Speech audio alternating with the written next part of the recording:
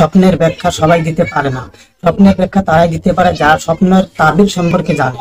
অনেকেই আমরা অনেক সময় বন্ধু বান্ধবের কাছে হাসি মজাকের ছলে স্বপ্ন বলি থাকি, আসলে তো এটা ঠিক নয়। কারণ স্বপ্ন এমন একটা জিনিস, যদি কেউ এর তাবির দিয়ে থাকে, তাহলে যেটাই তাবির দিবে সেটাই হয়ে যাবে। গতিকে যদি কেউ স্বপ্নের তাবির জানতে চায়, এমন মানুষের কাছ থেকে স্বপ্নের তাবির নিবে যারা স্বপ্ন সম্পর্কে জানে। আর স্বপ্নের তাবির আলিম ওলামারাই ভালো জানে। আজকে আমি স্বপ্নের দশটা তাবির নিয়ে এসেছি।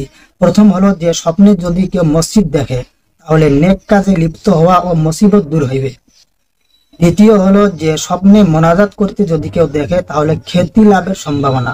তিন নম্বর, স্বপ্নে যদি কেউ মরা লোককে জীবিত দেখে, তাহলে অর্থশালী ও শান্তিতে থাকবে। স্বপ্নে যদি কেউ মাছ দেখে, তাহলে টাকা পাওয়ার সম্ভাবনা।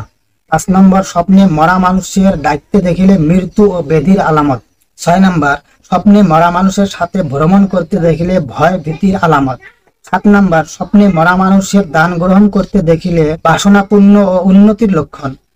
আট নাম্বার, স্বপ্নে মরা মানুষ উলঙ্গ দেখিলে পাপ মোচনের আলামত। নয় নাম্বার, যদি কেউ মরা মানুষকে স্বপ্নে কাঁদতে দেখে, তাহলে হায়াত বৃদ্ধির নিদর্শন।